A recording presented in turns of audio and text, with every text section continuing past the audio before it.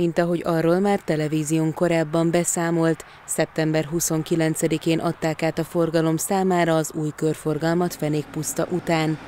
Így a járművek egy új úgynevezett korrekciós szakaszon közlekedhetnek.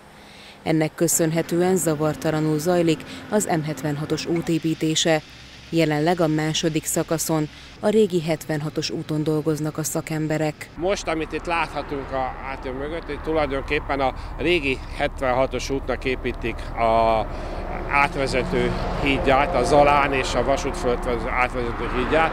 Tehát még mielőtt megépül a kétszer kétsávú gyorsforgalmi út, a forgalmat már át fogják terelni a régi 76-os út hídjára, tehát azt lehet mondani, hogy több a régi 76-os úton már hamarosan új hídon, a vasút átjáró fölött és a, a, a folyó fölött fogunk tudni közlekedni, és utána ebben párhuzamosan készül a kétszer kétsávos gyorsforgalmi út is.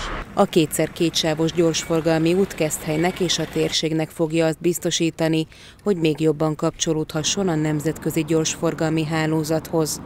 A tervek szerint a következő szakasz 2022-ig készül el, majd ezután folytatódik a munka Zalaegerszeg felé. Ennek köszönhetően néhány év múlva akár Ausztria felé is lényegesen gyorsabb kapcsolódást tud majd biztosítani az út.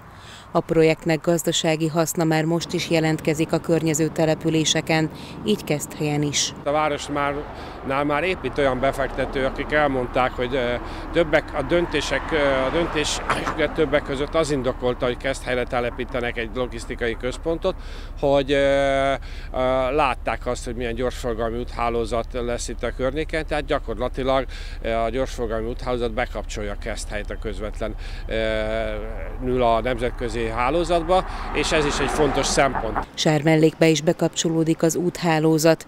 Ezen a településen is várhatóak a térség számára meghatározó építkezések, mutatott rá a képviselő. Ezek a jövőbeli logisztikai központok több munkahelyet is fognak biztosítani. Manninger Jenő hozzátette, az úttervezéseknek része az erdőtelepítési terv elkészítése is, így néhány év múlva a növényzet is újra megtalálható lesz a környéken.